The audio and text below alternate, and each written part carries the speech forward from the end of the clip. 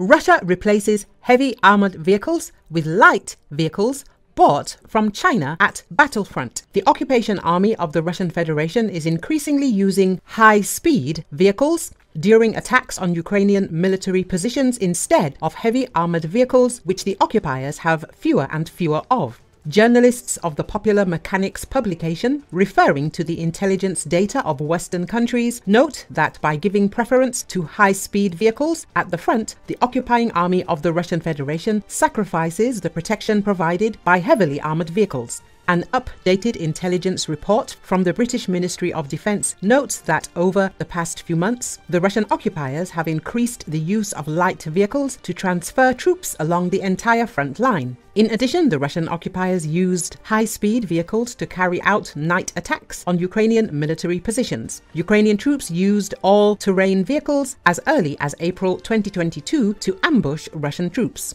Already in February 2024, the armed forces soldiers noted that Russian all terrain vehicles are more maneuverable than tracked vehicles, making them more challenging to hit with artillery. It is likely that Russian forces will increasingly resort to using lighter and faster vehicles to conduct reconnaissance of Ukrainian defense positions to enable subsequent fire using artillery first person view cameras, or unilateral strike drones in an attempt to consistently weaken the Ukrainian forces, the report of the British Ministry of Defence emphasises. British intelligence notes that Russia has purchased thousands of Desert Cross 1003 all terrain vehicles from China how the tactics of the Russian army changed with the beginning of the use of all terrain vehicles at the front, according to Rob Lee, a senior researcher at the Institute for Foreign Policy Studies. One of these vehicles which is in service with Russia's 177th Marine Regiment, was equipped with an anti drone screen. This improvised drone protection, a cage-like mesh, sometimes called a coop cage, is widely used on Russian and Ukrainian armored vehicles, including tanks. In fact, this is an additional level of protection that is installed as a last resort to protect against such threats as drones and artillery, the authors of the material explain. Але уважно рахуємо. Раз, два, три, чотири, п'ять, Шість, сім. Гребуть, хробаки.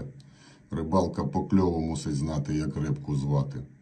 Як кажуть, аби вода, а жаби будуть. Гарний краєвид, Дніпро повноводний.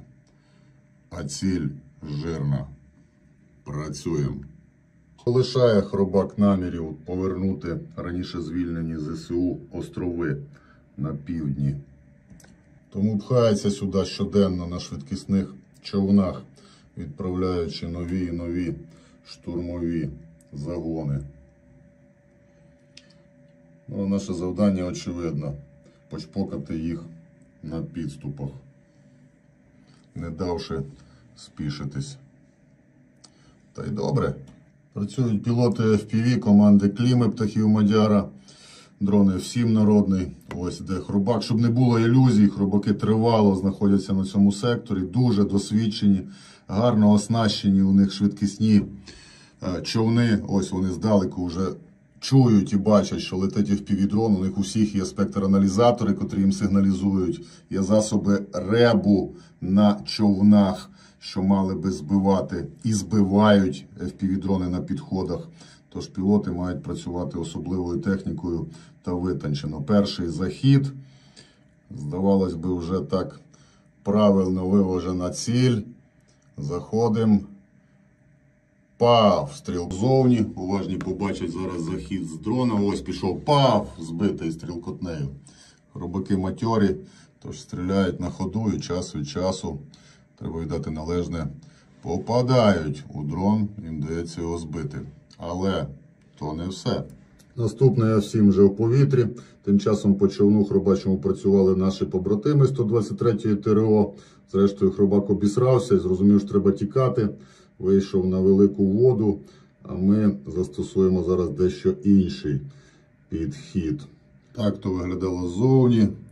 І подарунок хробакам сукрарні марлі з повітряним підривом. Козаки FPV команди Кліми птахів Мадяра гарно заходять і ініціюють цукерка. Вам здається, що нічого не відбувається, але то помілкове враження. Хробаки вже нагодовані. Управління човна.